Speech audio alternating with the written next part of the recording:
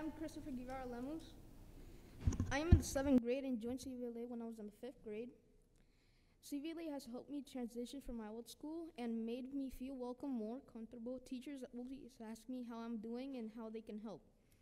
My favorite things about CVLA are my math classes, tutoring that is helping me do well in my MCAS, and the, the collaborativa groups we do on Friday. I am a student representative for CVLA Advisory Board. I'd like to know about changes happening at CVLA and be able to have it, my opinion be heard. My favorite memory from CVLA is the whale watching or the trip from Franklin Zoo Park. Going to the zoo was my first time. Was my first time I was able to meet my classmates in person.